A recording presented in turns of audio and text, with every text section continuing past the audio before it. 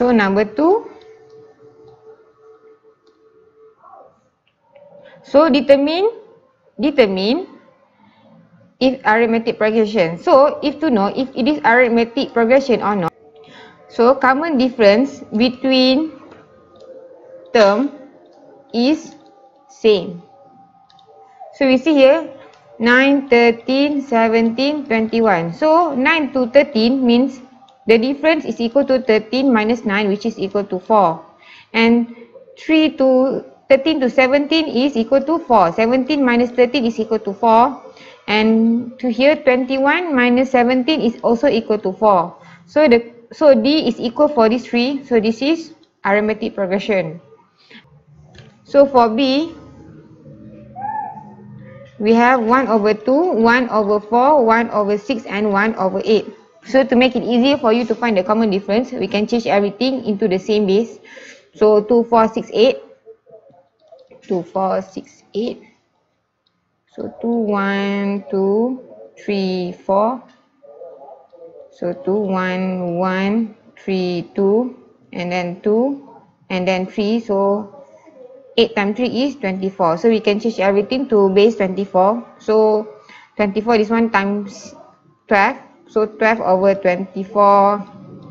So 6 over 24.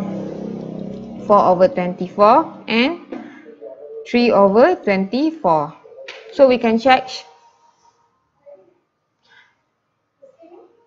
So you see here 12 to 6 over 24 is equal to D is equal to 6 over 24 minus 12 over 24 which is equal to negative 6 over 24. And then 6 to 4 is negative 2 over 24 and 4 to 3 is negative 1 over 24 which is not the same. So if the first one is D over uh, negative 6 over 24 so every term should be negative 6 over 24 negative 6 over 24 which is this one not correct. So you see this one is minus 6 over 24, minus 2 and minus 1. So this one is not arithmetic progression. 0 0.1, 0 0.01, 0.001. So the common difference, so we see is equal to term minus previous term. So 0 0.01 minus 0.1 is equal to negative 0.09. So you see this one is negative 0.09. So this one should also be negative 0.09.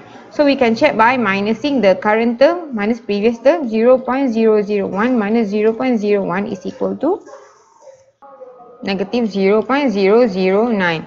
So you see here this one is negative 0.009. This one is this one is negative 0.09 but this one is negative 0.009 so the d is not equal. So this one is not arithmetic progression. And then for d we have 5 minus x 5 5 plus x. So we check here. Second the current minus previous 5 minus 5 minus x. So we get 5 minus 5 0 negative negative is positive x so this one is x.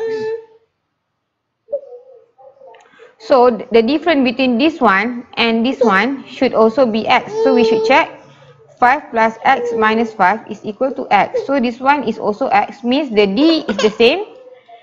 So this is arithmetic progression. Jom.